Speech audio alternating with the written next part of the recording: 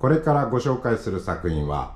ジェニファー・マークスがシルクスクリーンの版画で制作した海の絵です。タイトルはメディテラネオです。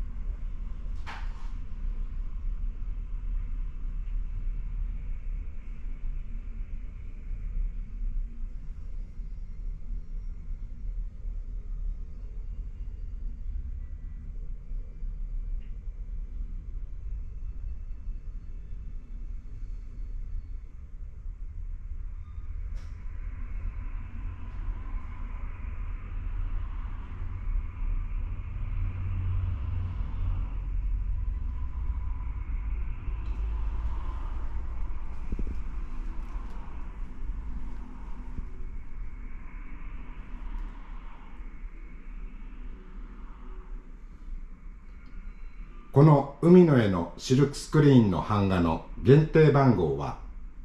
75部プリントされた作家保存版の中の一作です。ジェニファー・マークスのシルクスクリーンの版画はシルクペインティングという技法で描かれた原画をもとにして制作されています。このシルクペインティングという技法は日本の手書き友禅と同じで染料を使ってシルクに直接絵を描くという技法です。ジェニファー・マークスの独特の色彩や色のにじみは、このシルクペインティングという技法で描くことによって出てくるものです。トロピカルな色彩と美しい海の風景が見る人の心を穏やかにしてくれそうなシルクスクリーンの版画です。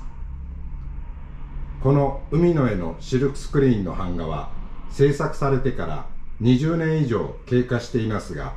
保存状態は完璧でシミや焼け波打ち色落ちなど一切ありません。ジェニファー・マークスのコレクターやファンの方にはもちろんトロピカルな海の絵をお探しの方にぜひおすすめしたいシルクスクリーンの版画です。